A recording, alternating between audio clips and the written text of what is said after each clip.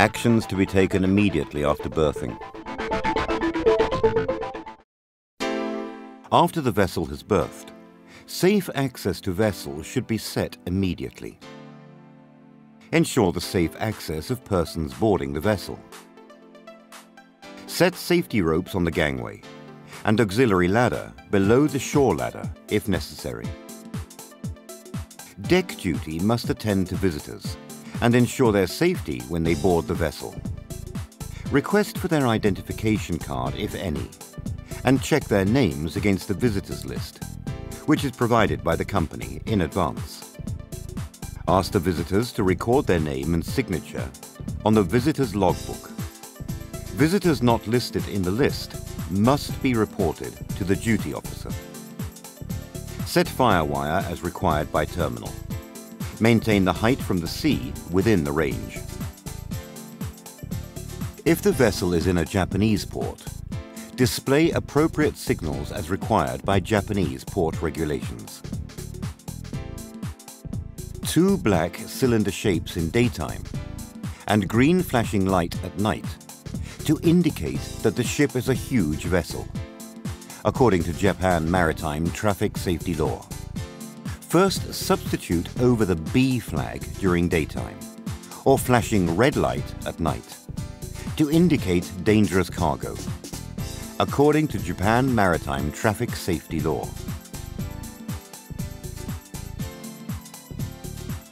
When vessel enters Japan waterways such as Uraga Suido, Irago Suido,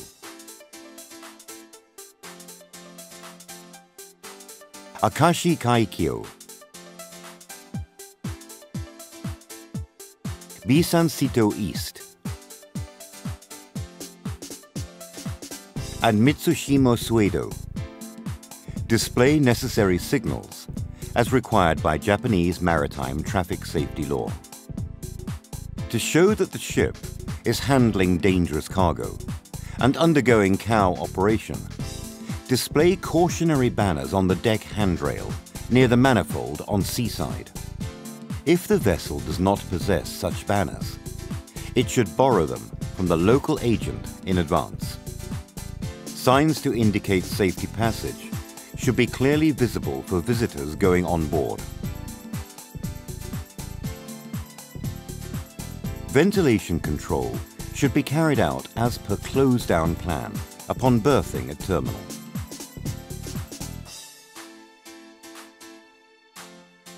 This is to prevent the intake of flammable gases into accommodation spaces.